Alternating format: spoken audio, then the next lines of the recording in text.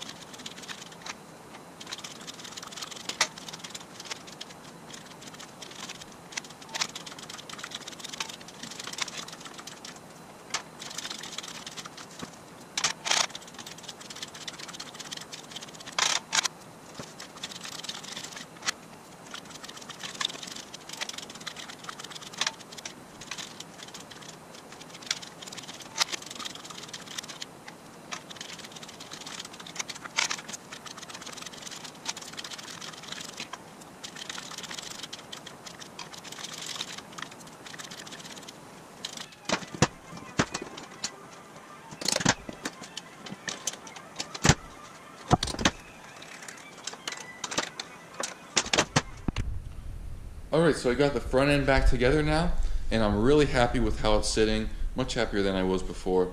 Reversing that main leaf was, I think, the best way to get about an inch, inch and a half drop out of the front. That combined with moving the front of the frame up a little bit, and I also removed the top two leaves out of that spring. Now it's sitting pretty much right where I want it. I might actually end up adding those back in um, once I put the engine in and see how much it compresses. But for now, that will work out just fine.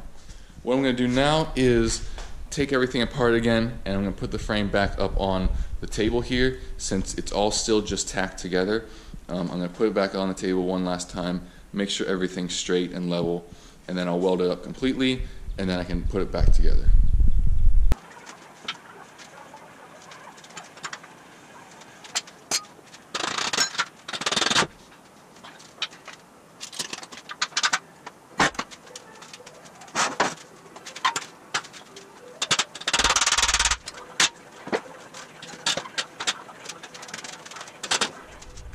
Okay, well, I didn't film anything. I've just been trying to get this done as efficiently as I can. It's 3 a.m. right now, and the welder is 99% out of gas. But I got the frame all welded together as straight as I can make it. When I put it up on this table initially, it had a noticeable twist to it.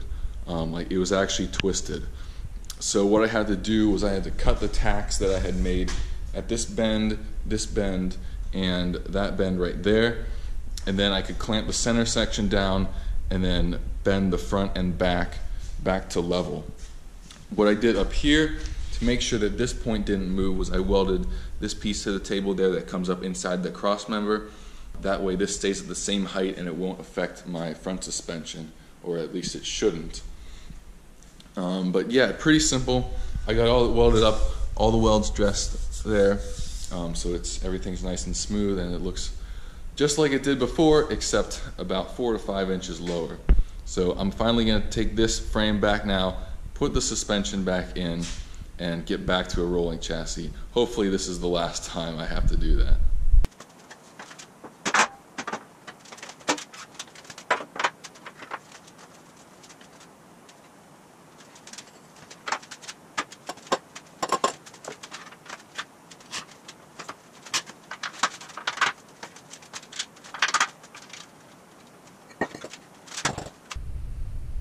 Right, well, it was three very long days of work to get to this point from where it was before, but I think it was worth it. The chassis now is sitting just like I want it to. It's lowered almost five inches. Beforehand, the bottom of the frame rail was above the center line of the axle. It's much, much lower now. Not low enough that ground clearance is going to be an issue yet. I think there's going to be plenty of room to work that out. Next thing is to modify the wooden buck to fit this new frame. Um, shouldn't be too challenging. It's just gonna have to be shortened and then lowered a little bit. And then I can get on to making the aluminum body. My new, the lower anvils for the English wheel should be in pretty soon and I can get on that within the next week or two. So that's all I have for you today. Thanks for watching and I'll see you next time.